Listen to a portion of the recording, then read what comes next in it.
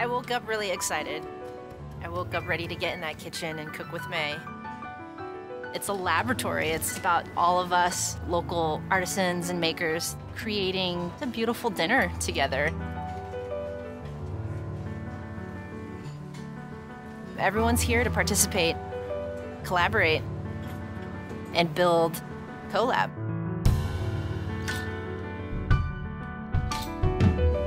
We're doing 60 covers. It's a really small kitchen. It's gonna be about a three hour dinner and it's gonna go really quick.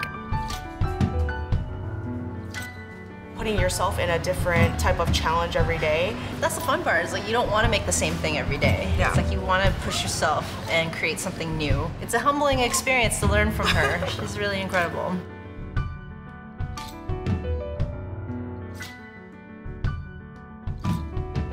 Have a chocolate coffee ganache, toasted yogurt, some fresh chocolate mint, cocoa nib streusel put together. Will taste like a mint mojito. Philz Coffee, we have dandelion chocolate as well as Bellwether, who provided sheep's yogurt to make the ice cream.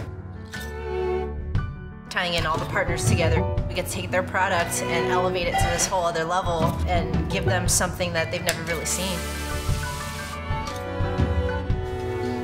Bluxome Winery Otter Pops with Pinot Noir, Old Spice flavor profile,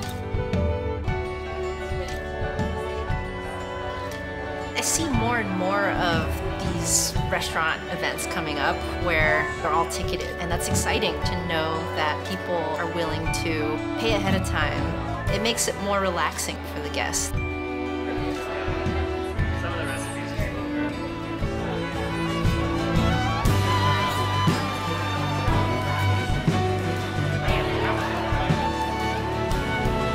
Green garlic crescenza filled pasta dish a custom hand-thrown bowl, a nice green color tone to it that'll complement the pale yellow color of the pasta.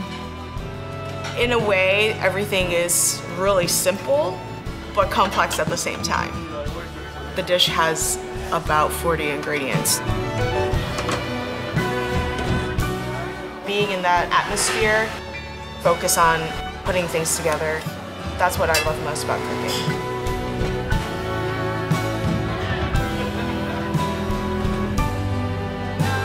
The sigh of relief is once that last course walks and I look out in the dining room and I see people are happy.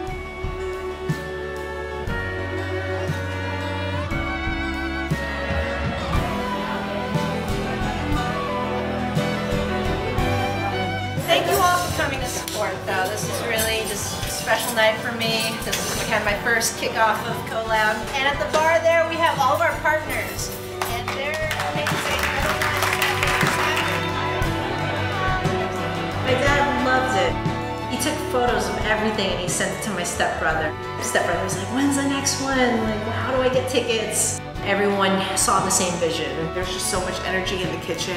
That's what really just tied it all together. When I talked amongst the guests, everyone brought up like, wow, it was just like the idea of collaborating together was incredible. That was the point of the night where it made it all worth it.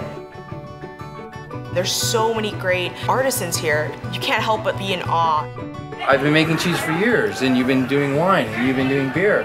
And we know the nuances of those flavors, and we can taste those.